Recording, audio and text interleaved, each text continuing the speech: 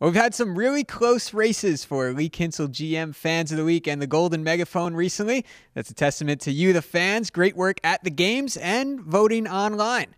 Last week, Allen East claimed the prize. Who will it be this week? Here are your five finalists.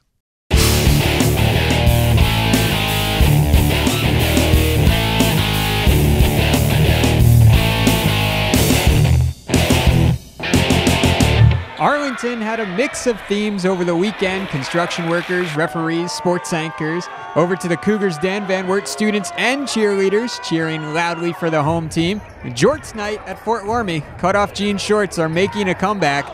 To finish up with the Bath students, always loving the WOSN cameras, the Wildcats are finalists this week. Now it's up to you to vote. Go to WOSN.tv and click on Lee Kinstle GM Fans of the Week. Vote as often as you'd like. Polls will remain open until 5 p.m. on Saturday. I'll reveal the winner of the Golden Megaphone on the Sports Report that night.